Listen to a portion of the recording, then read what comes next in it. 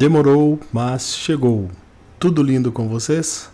Aqui quem fala é Kid Lancaster e hoje vamos conversar um pouco sobre The Game Awards 2022, categoria Jogo do Ano. E para quem não sabe o que é o The Game Awards, é uma premiação anual que ocorre desde 2014, agraciando alguns jogos em várias categorias. Se para os filmes temos o Oscar, para a música temos o Grammy, para os jogos temos The Game Awards. E você já sabe qual é a melhor sensação depois de ganhar o Oscar? Não? É ver você premiando esse vídeo com seu like. Muito obrigado.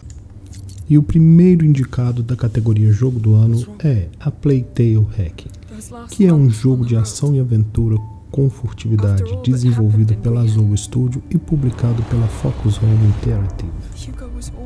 Esse jogo ocorre seis meses após os eventos do primeiro jogo, os irmãos Alicia e Hugo devem viajar para o sul da França em busca de uma ilha que possa fornecer a cura para a misteriosa doença sanguínea de Hugo.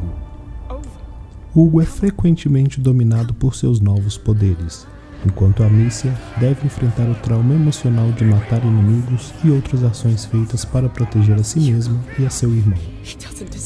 A jogabilidade é semelhante ao antecessor, sendo jogado a partir de uma perspectiva de terceira pessoa.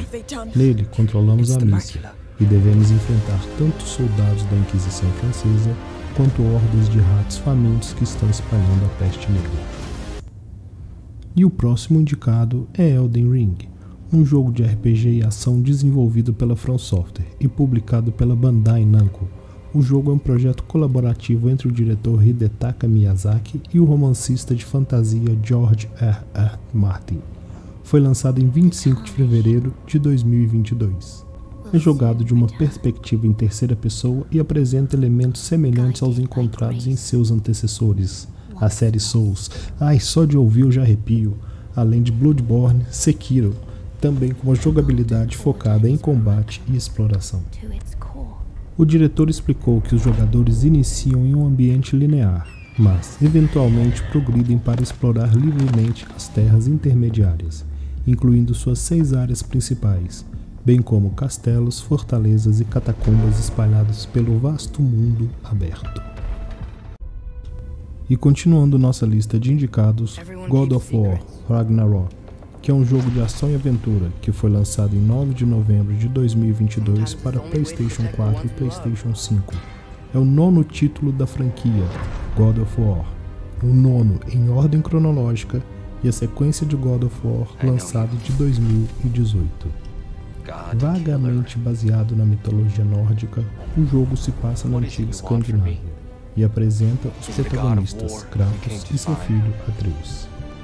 Servindo como final da era nórdica da série, o jogo dá o início ao Ragnarok, uma série de eventos que trazem o fim dos tempos e retrata a morte de alguns dos deuses nórdicos, que foi predito do jogo anterior após Kratos ter matado o deus Aesir, Baldur. A jogabilidade é semelhante a seu antecessor de 2018, e ao longo dessa aventura, os jogadores lutam contra inimigos mitológicos nórdicos com mais tipos de oponentes do que no título anterior. Além dos inimigos já encontrados em seu antecessor, temos uma variedade de algozes preparados para interromper a sua jornada.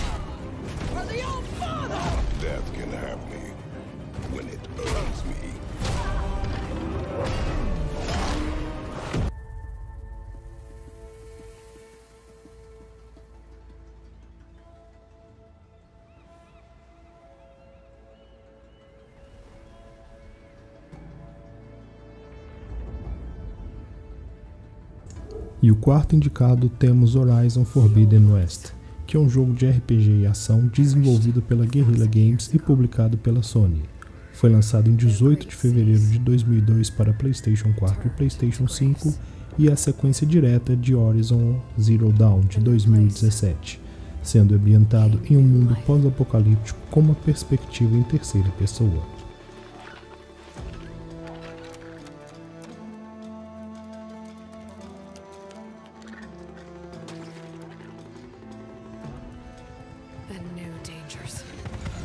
Os jogadores controlam a Lore, uma caçadora em um mundo governado por máquinas.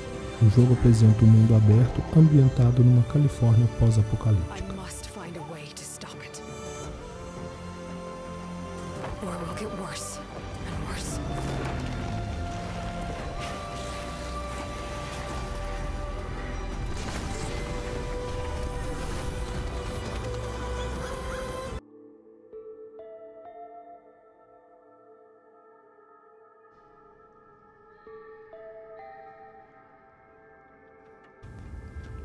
E o quinto jogo da nossa lista, que foi indicado em mais quatro categorias, Stray.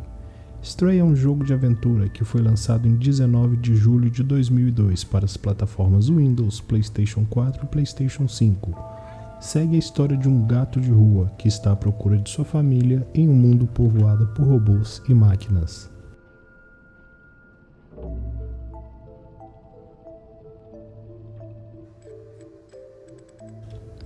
Perdido, sozinho e separado de sua família, um gato de rua deve desmendar um mistério antigo para escapar de uma cidade esquecida.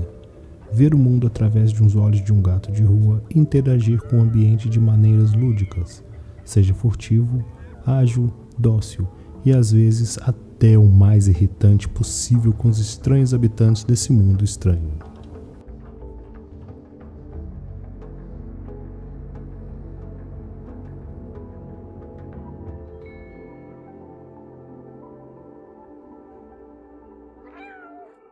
World our enemy.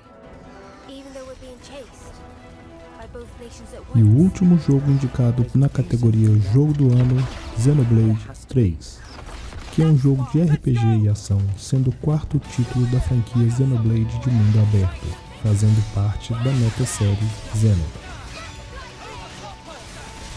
Xenoblade 3 retrata o futuro dos mundos apresentados nos dois jogos anteriores, e também o final da trilogia numerada, concluindo a narrativa abrangente estabelecida no primeiro jogo. A história e o tom seguem a linha do primeiro jogo, enquanto a jogabilidade é principalmente inspirada no segundo. Junte-se a Noah e Mio, membro das duas nações opostas de Kivs e Angus, em uma jornada emocionante por um mundo em guerra com segredos sombrios. Atravesse territórios fantásticos e enormes, dominando o combate de forma ininterrupta e em tempo real, enquanto expõe o verdadeiro inimigo que manipula esse conflito.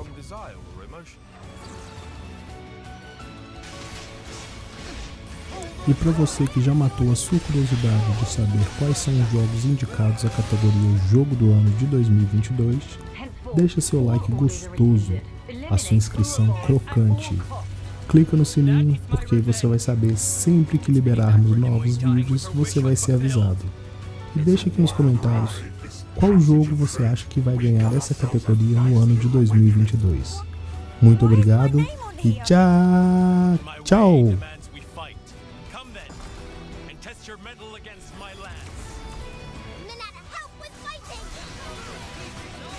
I've never used this kind of blade before.